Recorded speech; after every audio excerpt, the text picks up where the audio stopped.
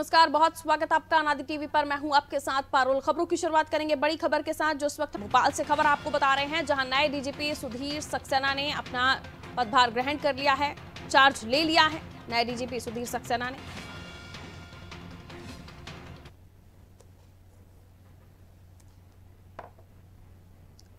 तो तस्वीरें आपको दिखा रहे हैं।